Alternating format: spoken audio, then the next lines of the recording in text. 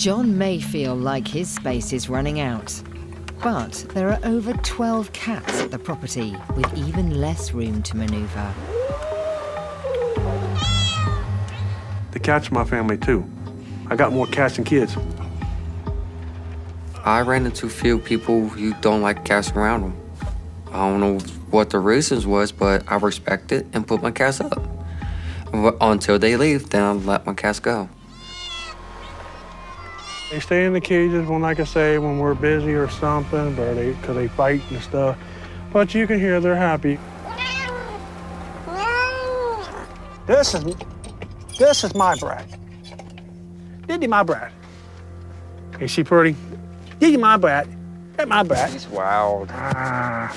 Our goal is once we clear out the house, they have the whole entire house explore and run around.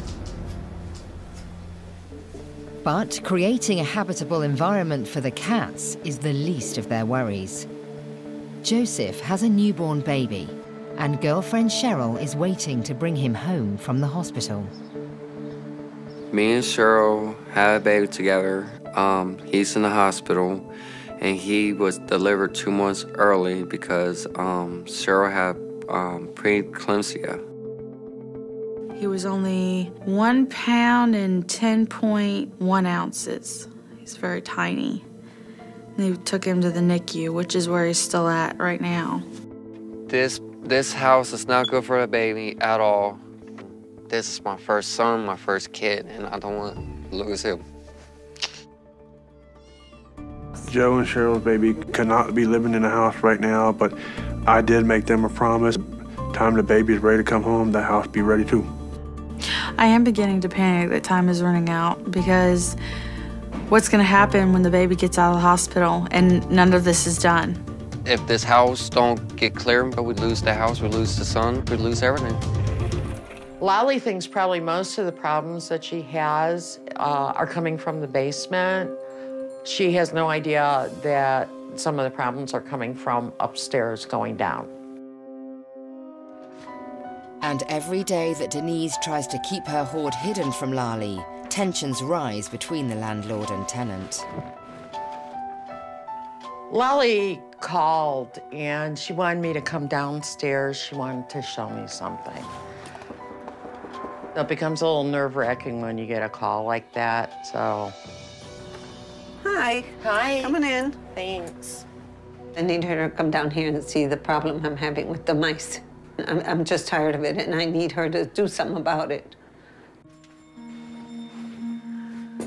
Okay, this is my dining room.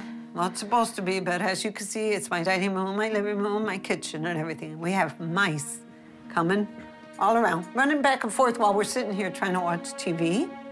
I didn't realize that the mouse problem downstairs was so bad that they were catching like one mouse a day. I know she's had issues before, but I didn't know it was as bad as it was. They wake me up in the middle of the night.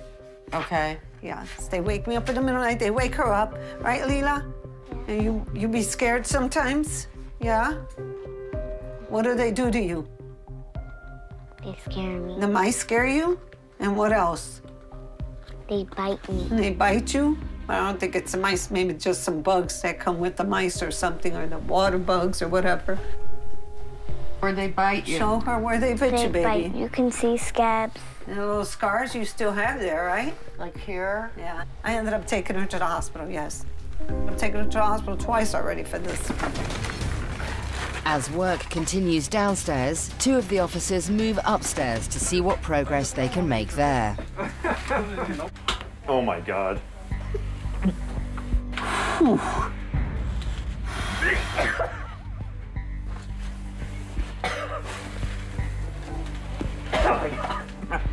I am absolutely dumbfounded right now. I'm like blown away. It just shows the level of um, how ill she really is. I can't imagine anybody doing this to themselves. I honestly don't even think it's safe to be in this house. I really don't. Yeah, we're done. We're, done. Out, we're out of here. This house needs to be burned down, like demolished. Wow. I thought when they said they couldn't clean the upstairs, that was totally ridiculous. They had like suits on and masks and that, that was completely ridiculous. I'm just gonna do it myself, so it's like no big deal. As far as I'm concerned, I do not feel comfortable at all uh, cleaning upstairs. Okay. That needs a special team. Training. Okay. Without without proper training with dealing with biological, like that's biohazard upstairs, 100%. I would not feel Absolutely. Well, we don't want anybody Yeah. doing anything that puts them at risk. So I think we'll leave upstairs and the basement for today, and we'll just focus our energies on the main floor. If I could make the decision today, today to take her out of that home, I would. The animals, I would take those too. Like, the, it's just not fit for human or animals to live in. Okay, I've got my magazines here. Um, I'm getting overwhelmed now because there's too many things, too many people coming to me two different, too many ways. I just need to go through this stuff. Can we just, can we just stop for one second? I'm getting a headache already. How do you guys feel? What do you want done? Anything that she will let us do. Okay. It's basically we're waiting for her to let us. Right, how come I didn't know all these things before?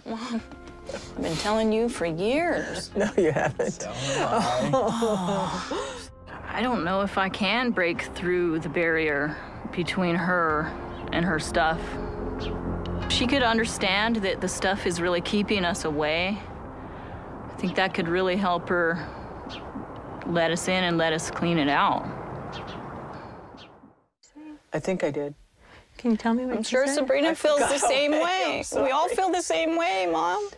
All But this did- stuff is did you worth say more to you no, than us. it's not. Yes, it is. No, it's not. That's not true, and I'm sorry if you think that. So were you, are you willing to start from right here, What I'm doing is defending myself about holding on to things. And I asked her. like games, I did toys. ask her I why like to play games.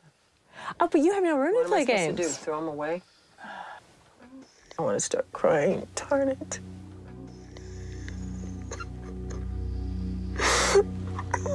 See the emotional attachment to the stuff. Please. Big. Because deal. whatever you own is also the family's too, and she's got it all wrong. She only cares about her belongings more than anything in the world. I hate it.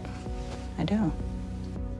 With Louise's uncompromising desire to hold on to so many of her possessions and her family's frustrations at an all-time high, the cleanup scheduled for tomorrow has made everyone feel nervous.